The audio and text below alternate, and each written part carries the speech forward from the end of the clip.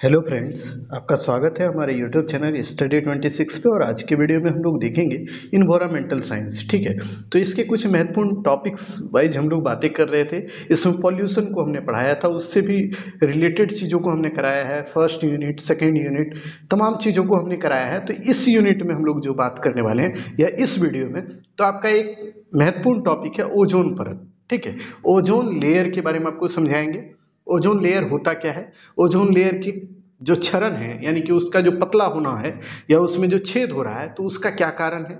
उसके क्या प्रभाव पड़ेंगे हमारे ऊपर और पड़ रहे हैं, उसको देखें और फिर उसको कम करने के कौन कौन से उपाय किए जा रहे हैं। ठीक है, आपको कोई भी टॉपिक पढ़ना है तो इसी आपको एक क्रोनोलॉजी बैठाना है कि इसी क्रोनोलॉजी में आपको पढ़ना है। कोई भी गैस गाइड आप पढ़ते हैं तो उसमें ये दिक्कतें होंगी कि उसको क्रोनोलॉजी में बैठाया नहीं गया है। कोई भी चीज़ जैसे तैसे लिख दिया गया। और उस बिहार पे आप पढ़ेंगे तो आपको नंबर जायज़ बात है कि कम मिलेगा, ठीक है? इसीलिए आप थोड़ा सा स्टैंडर्ड अपना बढ़ाइए। नंबर आपको अच्छा चाहिए तो स्टैंडर्ड बढ़ाना होगा और तरीके से पढ़ना होगा। जो तरीका हम अपना रहे हैं जो हमने अपनाया है अपने पढ़ाई के समय, वही तरीका हम आपको बताने वाले हैं। उस तरीके को अगर आप अपनाते हैं तो यकीनन आपको ठीक ठाक नंबर मिल जाएगा। तो चलिए, बिना विलंब के चीज़ों को शुरू करते हैं। नए होंगे तो चैनल को सब्सक्राइब कर लीजिएगा, लाइक कर दीजिएगा वीडियो को और शेयर ज़रूर कीजिएगा।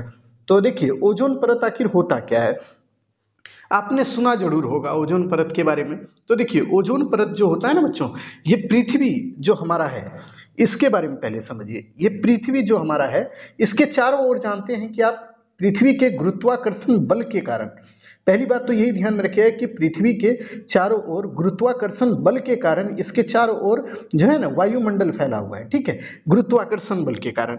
अब ये वायुमंडल जो है ना, ये कई एक लेयर में बटा हुआ है, ऐसे करके। तो इसी एक लेयर का नाम है, ये जो लेयर है ऊपर में, इसी को ओजोन परत कहते हैं, ठीक है? तो ओजोन परत आखिर होता क्यों है? तो इसको समझिए। ये एक वायुमंडल का लेयर है, जो कि आप जानते हैं, जिसको हमने बताया। ये लगभग 20 से 30 किलोमीटर तक चौड़ा है, यानी कि 20 से 30 किलोमीटर तक इसकी चौड़ाई है, ठीक है? तो इसको भी ध्यान में रखिएगा। लगभग लगभग हम बता रहे हैं, एडजेक्ट डाटा भी बता देंगे, बट इसको ध्यान में रखने के लिए। तो ये इतना चौड़ा है बच्चों, या मोटी परत है तो ये हमारे लिए क्या करती है? ये मान लीजिए हमारी पृथ्वी है, ये आपका ओजोन लेयर है तो ये आखिर करती क्या है? क्यों इसको पढ़े? इसका इंपॉर्टेंस क्या है? ये भी आपको अपने अंदर प्रश्न उठाना होगा। तो देखिए, अब इसका जवाब भी हम देते चलते हैं। तो ये देखिए आपका सूर्य है। सूर्य है। सूर्य से जो होता है ना, कई एक तरह की किरणें वापस मतलब निकलती है, ठीक है? तो इसकी जो किरणें एक निकलती है परावैग्निक किरण, ठीक है?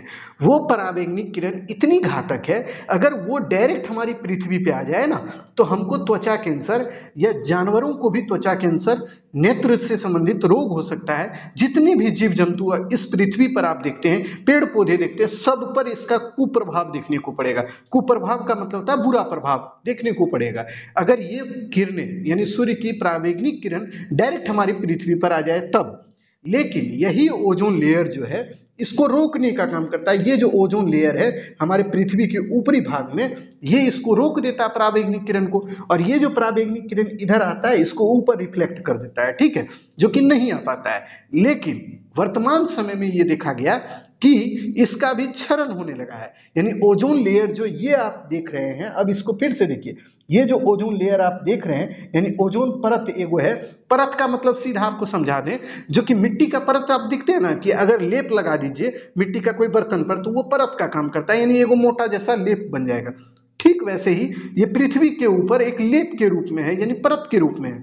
और ये परत जो है, मोटी है, ये जब यहाँ से सूर्य की किरणें आती है इसके ऊपर तो ये इसको रिफ्लेक्ट कर देता है। लेकिन यही सूर्य की किरणें अगर डायरेक्ट हमारी पृथ्वी पे आ जाए तो हम लोग को कई एक रोग होगा, ये तो हम अभी आपको बता दिए।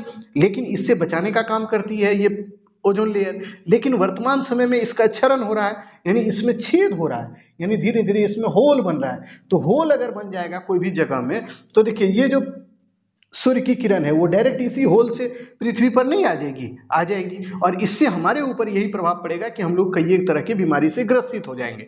तो ठीक है तो एक तरह से ओजोन लेयर जो है, ये हमारी रक्षा के लिए बना हुआ है और प्रकृति ने इसको खुद बनाया है। तो यही चीज़ आपको समझाना था, बेसिक चीज़ है। लेकिन इसको अगर समझ गए तो चीज़ें आपको आसान लगेंगी और यहीं से कहानी अब शुरू करते हैं हम एक एक करके, ठीक है? तो चलिए, अब इसको समझने और बूझने का प्रयास कीजिए एक एक करके। तो देखिए, पृथ्वी से से लगभग 15 किलोमीटर के ऊंचाई पर 24 किलोमीटर मोटी जो है ओजोन गैस की परत पाई जाती है, जो कि अभी तुरंत बताया कि पृथ्वी से 15 किलोमीटर ऊंचाई पर जाइएगा, वहाँ पे ओजोन परत पाया जाता है, ठीक? ओजोन परत सूर्य से पृथ्वी पर आने वाली हानिकारक हानिकारक जो परावेग्निक किरण है, उससे हमारी रक्षा करती है। ओजोन परत परावेग्निक किरणों को अवशोषित कर लेता है। यानी ओजोन परत जो है ना, जो सूर्य से आने वाला हानिकारक किरण है, उसको अवशोषित यानी सोख लेता है अपने अंदर। उसको इधर उधर कहीं नहीं जाने देता है, वो अपने अंदर ही रख लेता है। ठीक है, यही बात है। फिर देखिए, सूर्य से निकलने वाली परावैग्निक किरणें हमारे शरीर पर सीधे पड़े तो हमें त्वचा कैंसर जैसी बीमारियाँ हो सकती है। यानी कि देखिए, सूर्य से निकलने वाला जो परावैग्निक किरण है, वो हमारे शरीर पर या कोई जीव जंतु के शरीर पर, यानी जानवर के शरीर पर पड़ेगा तो उसको कई एक तरह की बीमारियाँ हो सकती है, ठीक है? इन्हीं बीमारियों से हमारी रक्षा करने का काम ओजोन परत करता है। इसलिए कहा जाता है कि ओजोन परत जो है पृथ्वी पर जीवन को बनाए रखने के लिए अत्यंत आवश्यक है। यानी कि कहने का मतलब ये है कि अगर पृथ्वी पर जीवन संभव है तो उसके लिए ओजोन परत का होना बहुत ही ज़रूरी है। अगर ओजोन परत नहीं रहेगा तो हो सकता है कि हमारे लिए ये बहुत घातक सिद्ध होगा कि हम लोग ज़्यादा दिन तक जीवित रहें, ठीक है? हम लोग नहीं रह पाएँगे जीवित। ये बात ध्यान में रखिएगा।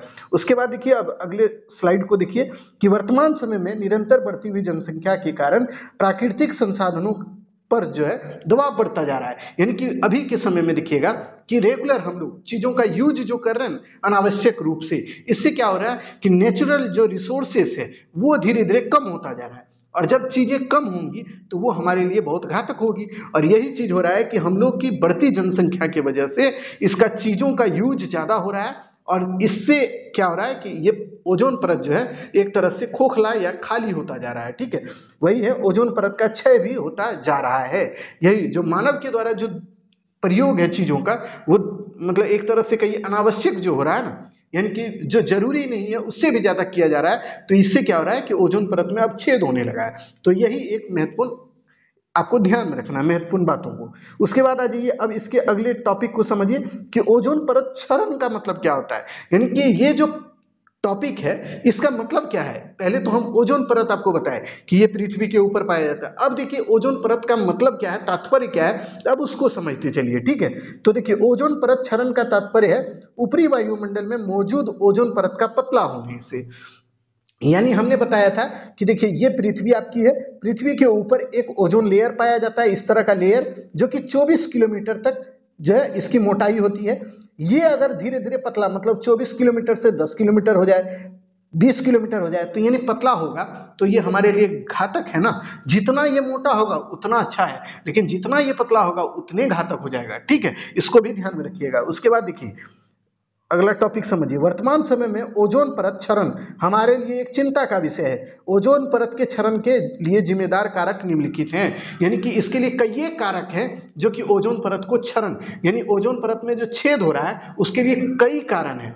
ठीक है? मतलब जान लीजिए, आप इसको इस तरह समझिए। कोई युद्ध होता है, कोई दो मतलब गुट में तो उसके लिए कई एक कारण होता है। तो ठीक वैसे ही ओजोन परत के जो लेयर है, उसका पतला जो हो रहा है तो उसके लिए भी कई कारण है। तो अब एक एक करके कारण को, तीन चार कारण आपको बता देते हैं, उसको ध्यान में रखिएगा। यही फॉर्मेट में अपना आंसर आपको लिखना है, इस बात को भी ध्यान में रखिएगा आप, ठीक है? जैसे तैसे मत लिखिएगा आंसर नहीं तो नंबर नहीं मिलेगा। देखिए, पहला कारण है क्लोरोफ्लोरोकार्बन क्लोरोफ्लोरोकार्बन जो होता है सी जिसको बोलते हैं। सीएफसी का यूज़ जो होता है ना बच्चों, ये घर में आप देखते होंगे फ्रिज वगैरह है जिसको रेफ्रिजरेटर बोलते हैं, फ्रिज है वॉशिंग मशीन है, ये सब चीज़ों में ज़्यादा होता है, ठीक है? सीएफसी का प्रयोग, ठीक है? तो इससे जो निकलने वाला जो गैस है ना, यही सीएफसी के रूप में निकलता है और ये क्या करता है, ओजोन परत के मतलब क्षरण में एक महत्वपूर्ण कारक बन जाता है। यानी कि ओजोन परत में जो अगर छेद हो रहा है ना तो उसका एक प्रमुख कारण यही है सीएफसी यानी क्लोरोफ्लोरोकार्बन जो है, ये गैस निकल के उसको मतलब डिजोल्व करने का काम करता है। ठीक, इसको ध्यान रखिएगा। ओजोन परत के क्षरण का प्रमुख कारण क्लोरोफ्लोरोकार्बन का बढ़ता उपयोग है।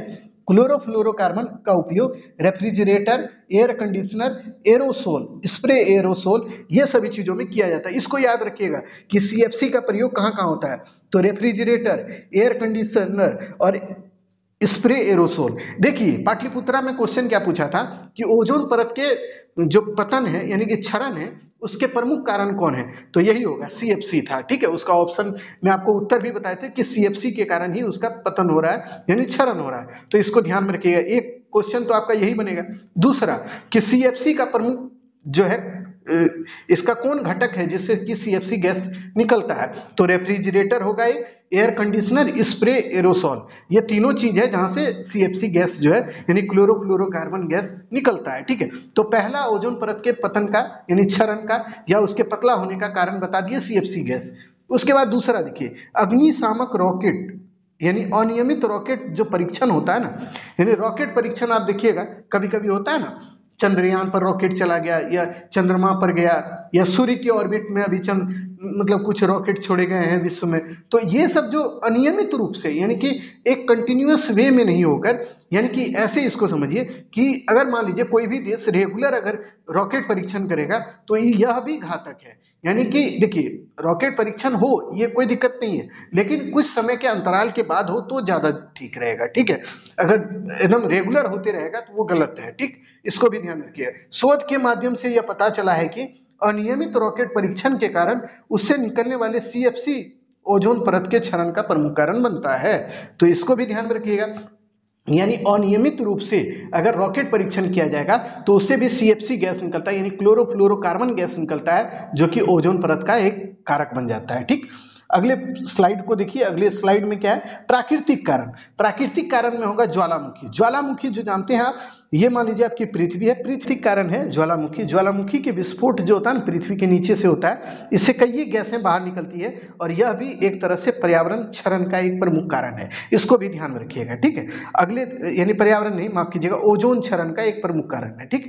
अगले स्लाइड में देखिए कि ओजोन परत के क्षरण का क्या प्रभाव पड़ता है। यानी ओजोन परत का डिप्लेशन हो रहा है, यानी कि ओजोन परत का जो है छेद अगर हो रहा है उसमें तो उसका हमारे जीवन पर क्या प्रभाव पड़ता है? अब उसको देखिए तो मानव स्वास्थ्य पर पहला प्रभाव जो पड़ता है ना ओजोन परत के क्षरण से सबसे घातक प्रभाव जो है मानव स्वास्थ्य पर पड़ता है। जैसे इससे त्वचा कैंसर हो सकता है। अगर मान लीजिए हमारा ओजोन परत क्षरण हो जाए, उसका यानी एक तरह से ओजोन पतला हो जाए और प्रावेग्निक किरण जो है, सूर्य से निकलने वाला प्रावेग्निक किरण, वो हमारे शरीर पर डायरेक्ट आके पड़े तो इससे क्या होगा? हमको त्वचा कैंसर हो सकता है। आँख से संबंधित बीमारी हो सकता है। ठीक है? इसको भी ध्यान में रखिएगा।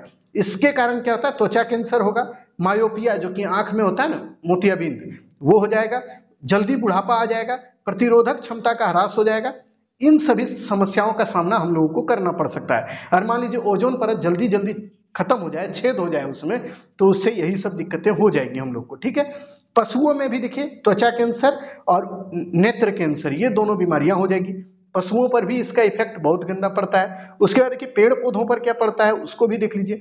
पेड़ पौधों पर ओजोन क्षरत का घातक प्रभाव पड़ता है। जैसे इसके कारण पेड़ पौधे की जो वृद्धि है, यानी जो उसका विकास होता है, वो रुक जाएगा। फूल उसमें जो आते हैं वह रुक जाएगा। प्रकाश संश्लेषण की क्रिया जो उसमें होती है पेड़ पौधे में, जिसके कारण वो अपना भोजन बनाता है तो वह भी रुक जाएगा, ठीक है? तो ये तीनों कारण इसका भी हो जाएगा, ठीक है? उसके बाद देखिए, समुद्री जीवों पर इसका क्या प्रभाव पड़ता है ओजोन क्षरण का? तो देखिए, समुद्री जीवों में आप जानते हैं, समुद्र में रहने वाला जितना जीव है ना, उसके लिए भी खाने पीने का चीज़ उसी के अंदर रहता है, समुद्र में ही। तो ठीक है तो इसके विकिरण से, यानी कि देखिए, जो डायरेक्ट सूर्य का प्रभाव प्रकाश अगर समुद्र में पड़ेगा तो उसका कुछ प्रभाव ये पड़ेगा ना कि समुद्र में जो पाए जाने वाले हैं फाइटो प्ले प्लैंकटन जो होता है ना फाइटोप्लैंकटन ये इसको ध्यान में रखिए फाइटो प्लैंकटन ये क्या होता है, ये मछलियों का एक तरह से भोजन होता है, ठीक है? तो उससे क्या होगा ना, ये मर जाएगा, यानी इस पर दुष्प्रभाव पड़ेगा। किस पे? तो फाइटो प्लैंकटन के ऊपर, ठीक है? तो ये इस पर दुष्प्रभाव जब पड़ेगा तो मछलियाँ इसको खाएगी तो मरने लगेगी। तो यानी देखिए, समुद्री जीव पर भी इसका कुप्रभाव पड़ता है कि समुद्र में रहने वाले जीव जंतु भी मरने लगेंगे धीरे धीरे ठीक है, अगर गलत चीज़ कोई खाएगा तो वो मरेगा ना? तो ठीक वैसे ही इसका भी प्रभाव समुद्री जीव जंतुओं पर भी पड़ेगा, मछलियों का उत्पादन घटेगा, ये सभी चीज़ें इसके प्रभाव के अंतर्गत आपको लिखने होंगे। ठीक? अब देख लीजिए इसके उपाय। यानी कि ओजोन परत के क्षरण क्षरण का मतलब वही, फिर से समझा रहे हैं कि वही छेद जो होता है, क्षरण उसको याद रखिएगा। यानी ओजोन परत में जो छेद हो रहा है, उसको, उससे बचाने की क्या क्या उपाय हैं, अब उसको देखिए। पहला उपाय है, ओजोन परत को नुकसान पहुँचाने वाले पदार्थों का उपयोग कम करना होगा। यानी कि देखिए, ओजोन परत को जो नुकसान पहुंचाता है, वैसे पदार्थों का कम यूज़ यूज़ करिए, तभी इसका जो है, ये बच पाएगा। दूसरा उदाहरण के लिए, जैसे रेफ्रिजरेटर है, एयर कंडीशनर है, जिससे निकलता है सीएफसी गैस, यानी क्लोरोफ्लोरोकार्बन जो निकलता है गैस तो उसका जिस जिस चीज़ में ज़्यादा क्लोरोफ्लोरोकार्बन गैस निकलता है, उसका यूज़ ही कम कर दीजिए तो क्या होगा, ओजोन परत का क्षरण जो है, वो अपने आप कम हो जाएगा, ठीक? इसको ध्यान में रखिएगा। उसके बाद देखिए, वाहन, जो कि बड़ी संख्या में ग्रीन हाउस इफ़ेक्ट जो आपको अगले वीडियो में हम पढ़ाएँगे ग्रीन हाउस इफ़ेक्ट क्या है तो उसमें ये उत्सर्जन का काम करता है। यानी कि देखिए, वाहनों से निकलने वाला जो धुआँ होता है, यानी कि गाड़ी वगैरह से जो धुआँ निकलता है, वो क्या करता है? वो पर्यावरण में जो और गैस है, उसे रिएक्ट करता है और वो एक तरह से विषैले गैस का निर्माण करता है और वो हमारे लिए बहुत घातक हो जाता है। तो ठीक वैसे ही उन विषैले गैसों के मिल जाने से भी ये जो ओजोन परत का जो क्षरण है, वह होता है, ठीक है? तो उसका भी यूज़ कम करना होगा, यानी वाहनों का यूज़ भी कम करना होगा, जिससे कि विषैली गैसें निकलती है, ऐसे वाहनों का यूज़ कम करना चाहिए, ठीक? तो इससे क्या होगा, ओजोन परत का क्षरण जो है, वो कम हो पाएगा। उसके बाद अगला जो इसका प्रयास जो किया जा रहा है तो देखिए, लोगों के बीच जागरूकता पहुँचाने के लिए 16 सितंबर उन्नीस सौ सतासी से प्रत्येक साल ओजोन दिवस के रूप में 16 सितंबर को प्रत्येक साल ओजोन दिवस मनाया जाता है, समझे? 16 सितंबर को। ये याद रखिएगा कि ओजोन दिवस कब मनाया जाता है और कब से? तो उन्नीस सौ सतासी से। क्यों मनाया जाता है? तो इसका रीजन ये है कि लोगों में जागरूकता पहुंचाना, कि उनको ये बात पता चले कि ओजोन लेयर हमारी पृथ्वी के ऊपर है, जिसका अगर क्षरण हो जाएगा, यानी उसमें अगर छेद हो जाएगा तो वो हमारे लिए घातक होगा। और लोगों को ये भी बताना कि आप रेफ्रिजरेटर उसके बाद एयर कंडीशनर इन सभी चीज़ों का कम यूज़ कीजिए। नेचुरल चीज़ों का ज़्यादा यूज़ कीजिए, बाकी बनावटी चीज़ों का कम यूज़ कीजिए। सीएफसी जैसे गैसों का उत्सर्जन कम कीजिए। ये चीज़ बताने के लिए हर साल 16 सितंबर को ओजोन दिवस के रूप में सेलिब्रेट किया जाता है, इसको ध्यान रखिएगा। उसके बाद देखिए मॉनिटरियल प्रोटोकॉल मॉनिटरियल प्रोटोकॉल जो है ना, यह भी ओजोन लेयर से संबंधित है, ठीक है? इसको ध्यान रखिएगा। आपसे पूछेगा मोनिटरियल प्रोटोकॉल किसके संबंध में लिया गया या लाया गया था। तो इसमें ध्यान में रखिएगा, ओजोन परत के संरक्षण को लेकर मोनिट्रियल प्रोटोकॉल लाया गया था। इसको हम लोग पढ़ाएँगे। जब आपको इन्वायरमेंटल लॉज पढ़ाएँगे तो वहाँ पे ज़्यादा इसको डिस्कस करेंगे। बट आपको इतना ही बात ध्यान में रखना है कि मोनिट्रियल प्रोटोकॉल इसलिए आया था कि ओजोन परत का जो क्षरण हो रहा है, उसको रोका जा सके। इसका मुख्य उद्देश्य था कि सीएफसी जो गैस होता है, जो निकलता है हमारी मतलब कार्यों से, जैसे कि रेफ्रिजरेटर या फिर कोई भी एयर कंडीशनर इन तमाम चीज़ों से उसको कम करना। यानी कि सीएफसी गैस का यूज़ जो है, उसको कम करना। यानी क्लोरोफ्लोरोकार्बन गैस हम लोग कम यूज़ करें। इसीलिए इस मॉनिट्रियल प्रोटोकॉल का मतलब होता है कि संधि हुआ था, ठीक है? यानी मॉनिट्रियल संधि हुआ था। इसके तहत यही था कि ओजोन परत को जितना हो सके, उसको मतलब बचाने का प्रयास किया जाए, ठीक? तो इतनी चीज़ें आपको ध्यान में रखनी है, आपके ओजोन परत को लेकर। देखिए भले ही ये वीडियो छोटा है, लेकिन ये वीडियो बहुत काम का है। क्यों?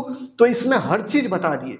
कैसे कैसे चीज़ें आपको लिखना है, सजाना कैसे है आपको आंसर को, ऐसे ही, ठीक है? इसको इधर उधर करिएगा मत। पहले कोई बच्चा देखते हैं हम आंसर अपना लिखता है तो वो पहले प्रभावी लिख देता है, फिर बाद में कारण लिखता है। ऐसा नहीं होता। पहले कारण बताइए। पहले तो उस टॉपिक का मतलब बताइएगा, फिर कारण, फिर प्रभाव, और फिर उसका निष्कर्ष लिखिएगा, ठीक है? और उससे बचने के उपाय भी बताइएगा। इतना अगर करते हैं तो ये टॉपिक पूरा खत्म होता है। बाकी जो आप अधूरा काम करिएगा, उससे ये टॉपिक पूरा नहीं होगा। इसीलिए अधूरा, आधा अधूरा काम नहीं करना है आपको। पूरे टॉपिक को खत्म करने का प्रयास करना है। वीडियो छोटा है, लेकिन काम का है। अगर इसको देखिएगा तो ऑब्जेक्टिव एक, और सब्जेक्टिव अगर आपसे पूछेगा तो वह भी आपसे बनेगा। ठीक है? तो आज के लिए इतना ही। फिर मिलते हैं नए वीडियो में। तो तक लिए धन्यवाद।